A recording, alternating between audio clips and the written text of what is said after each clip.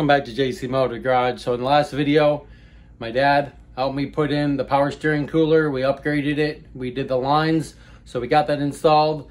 So let's fill it up. Let's start the car up and let's see if it leaks. So before we end this video, hit that subscribe button. Follow us to 1,000 subscribers. You can follow us on Facebook and Instagram at JC Motive Garage. I post a lot of stuff on there. If you have any automotive questions about, you know, Integras, Hondas, or anything, just hit me up. I'll try to help you help out help you out the best I can. So let's get in the video and let's see if we, we did a good job. So let's do it. All right, so last video we put in the power steering cooler, so we upgraded it. We did a uh, Hayden 1009 power steering cooler from O'Reilly's. So this is that one right there. I think it's a nine inch. So you can buy different sizes for different um, different ones. It came with all the application for it. It came with all the, the, the things for the radiator, hold it in. It came with the clamps. It came with the hose. It came with everything. So you can do this. So the base of the kit was complete. Um, we got some power uh, Prestone power steering fluid. So we're going to fill up the power steering fluid here with whatever we have left. And we're going to start it up, turn the wheel, see if we can get some power steering fluid in here and see if it leaks. All right, so we're filling up the reservoir right now. So we're gonna fill it up. Just fill it up to about almost, not to the top yet, but because I know it's gonna take some in there. Keep going, keep going. It should be good right now. All right, just leave it open. We'll leave this over here so it'll suck it down when you start the car up. So we're gonna get the keys, open up the garage and give it a start and we'll see if the hoses are good and see if it is so. Okay, we got fluid in there, so we got it up enough where it'll go down it'll suck all that down there. Corey's gonna go get the keys and then we're gonna check the lines.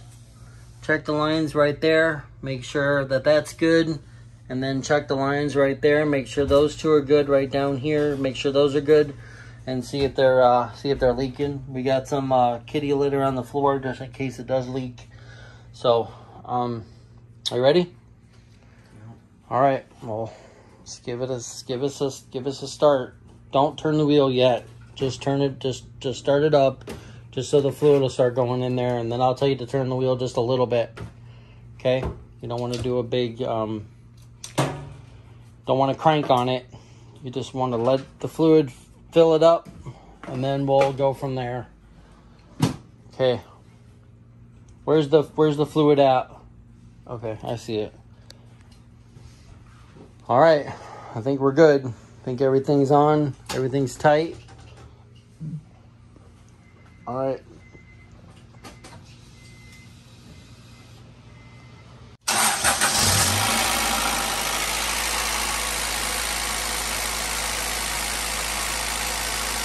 Suck it down some.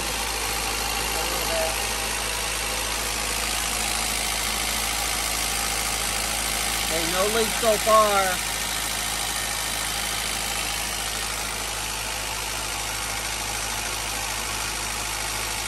So just keep an eye on this.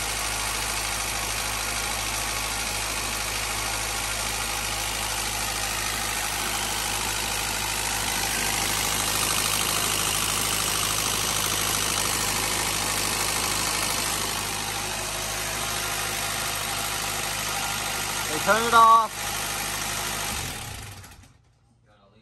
Yeah, a small one. I don't know where it's coming from though. Yeah, we got a small leak. We got a small leak coming from the one right there. So the other one's not leaking, so that's good.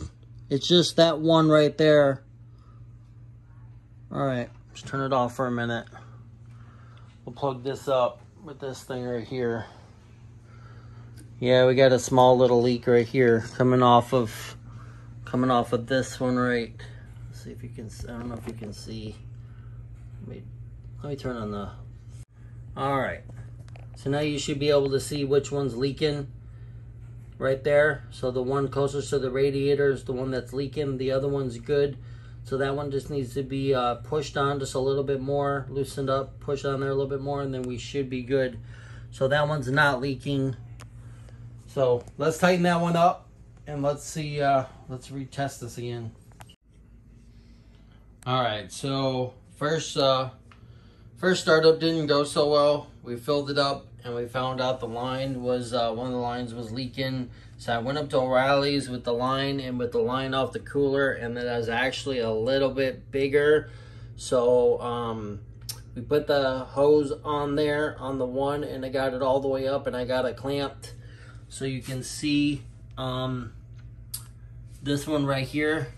I'll pull it out a little bit. You can see that's the size of the one off the cooler we were trying to put up there. And this is the one that I got from uh, from O'Reilly's. You can see that it is a little bit bigger and it actually went up there and uh, tightened up. So all we're gonna have to do right now, um, I got that one line sitting there so you can see that the line is longer.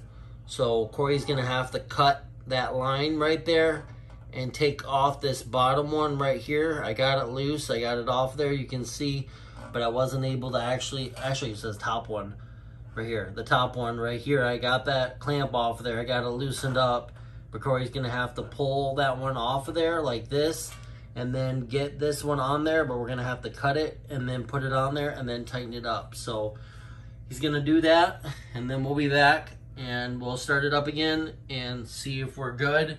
If we're good to go, um, we're gonna pull it out and uh, actually park it in the driveway. And then we're gonna start working on the bumper, taking the bumper uh, apart on these pieces right here right there and right there getting that off of there because you can see that one piece right over there is uh, separated. So we're going to take the bottom piece off here and make it actually two pieces so we can sand it down fix it and then prime it. So that's the next thing we're going to be doing is working on that. We got uh we got different lights right here to go in it. These ones right here they're actually clear instead of uh, orange.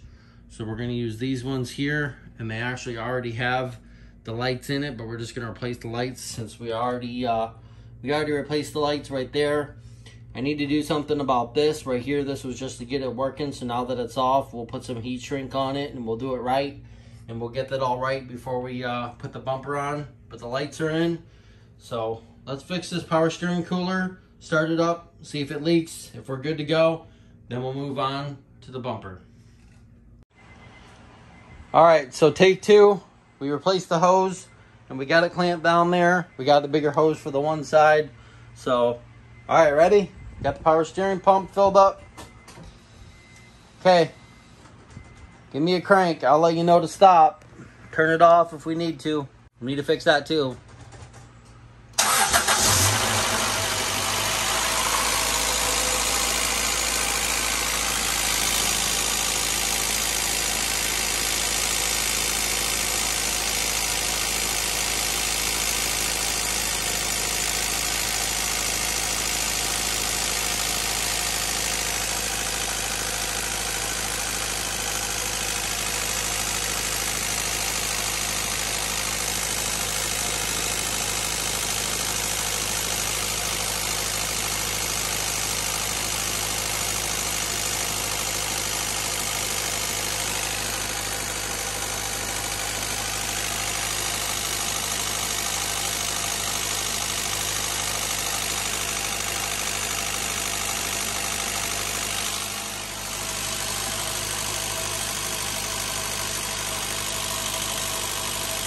Okay, turn it off.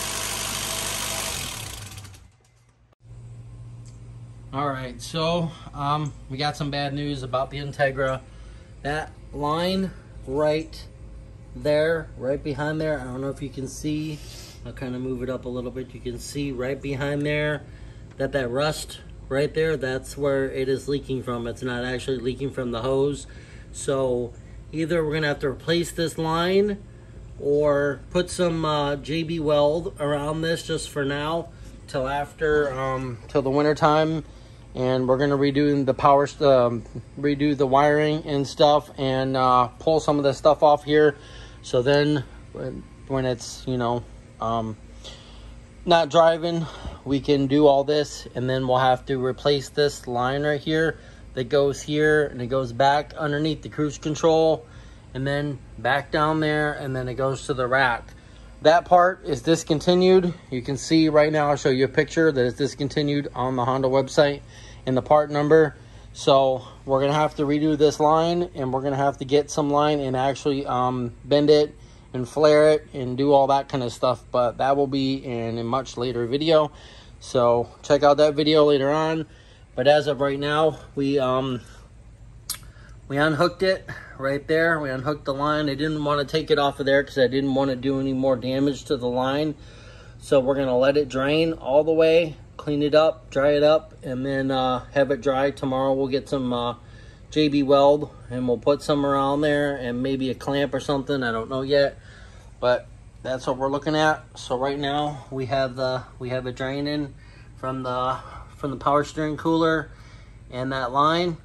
So it's probably going to take all the fluid out of here, which is, it's got a little bit in there, but pretty much that'll all be down there and it won't be all over the driveway. So we're doing out here, so we're cleaning the garage out. So we can start the body work. We got the bumper right there. And then we got a thing right there we can put the bumper on. So we're going to be taking this apart, taking these lights out, putting the clear ones in there, getting this all cleaned up. And these this bolt, this bolt, this bolt all the way along here. This goes into two pieces. So we're gonna separate this, clean all this up, sand all this down, and then we're gonna fix all the little holes and everything with some fiberglass. And we're gonna be doing that. So that'll be coming in the next video. So, yep. So next video, we'll be doing uh, JB Weld on this after it dries for a day. We'll be doing that, fixing that. Hopefully that fixes the problem. And then we'll be starting body work getting it all sanded down and primed. All right, well, you can see that one little leak turned into a big project, but that's how it is on older cars, especially something that's been sitting in the salvage yard for four years and it rusted. And we were gonna replace those lines when we had the engine out, but we were hoping that it would uh, hold, but it didn't. So hopefully we can get this fixed for now, just a temporary fix so we can drive it till the wintertime and then we'll fix it. So if you like this video, Please give us a big thumbs up. You can follow us on Facebook and Instagram at JC Motive Garage. Hit that subscribe button. Follow us a thousand subscribers. And we'll see you next time on JC Motive Garage.